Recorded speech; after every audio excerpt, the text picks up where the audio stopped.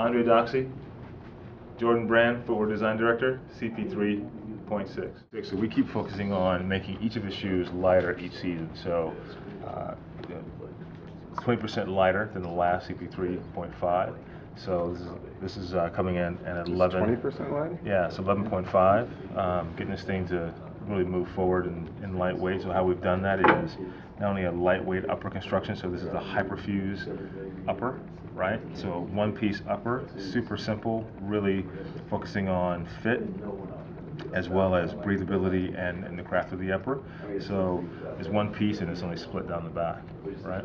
So we really focused on how we can really have this really wrap around his foot and give you great arch support in the midfoot area, as long as well as give you some great lockdown across the length of his foot. So this was inspired by the Dragonfly. And so the whole idea around that is we kept talking about CP and speed. What personifies speed? And we kept looking across different areas and was like, know, insects, ah, dragon, dragonfly.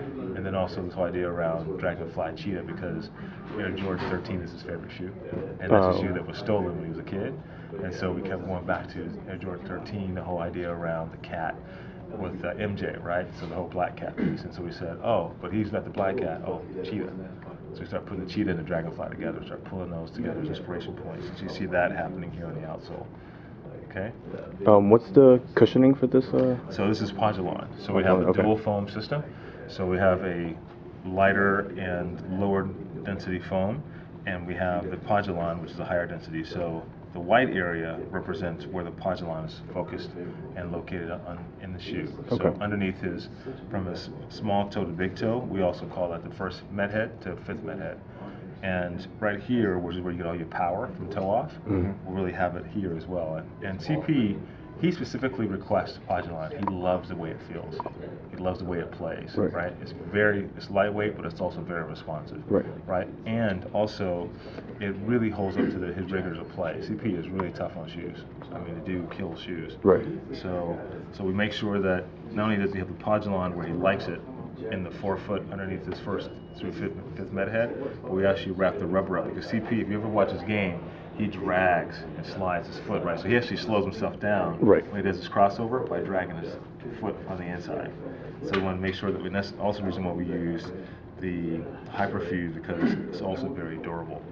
So you don't have the issue of the shoe breaking down prematurely, Right. right? But also keeping the weight down. Right. So that's the idea there with the Podulon. You see it's called out here in the forefoot, okay, where it's located.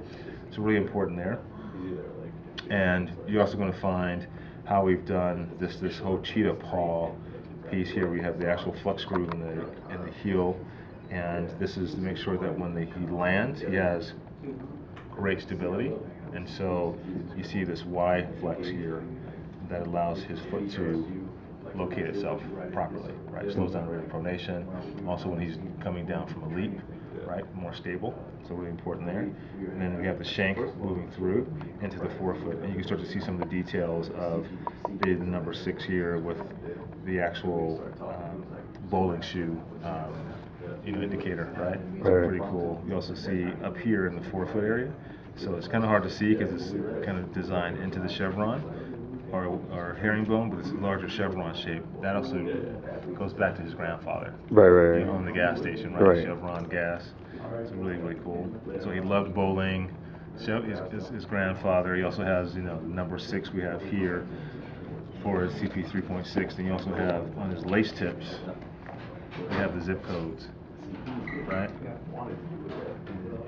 Okay, so just all little things Yeah, a that of we detail. yeah start telling stories around the CP. I'm really excited about that. So, CP 3.6. So, as Josh talked about earlier, and we mentioned that before, these are launching. Uh, we did the Olympic colorway first, and that came out on September 8th. So that was a celebration of the Olympics. And you're going to see us really start to drop these in the marketplace. So in LA only, we walk over this way. I'll, I'll, I'll stay with the shoes for a minute. Okay. We stay here. So you have a Nitro pack, right? This is going to be LA only, right? And these will drop third week in October. So we're really excited about that. And then on the 3rd of November, what you'll see is national drop for the colorways you're going to see them on court, Okay. right? And then these are the spring colorways you're going to see on the college teams. Okay? Um, quick question. The Nitro Pack, uh, Yeah. what is the inspiration behind Speed. that? It's all about speed. Oh, okay. Yeah, he loved um, movies about you know racing and fast cars and the whole deal. So we said, you know what?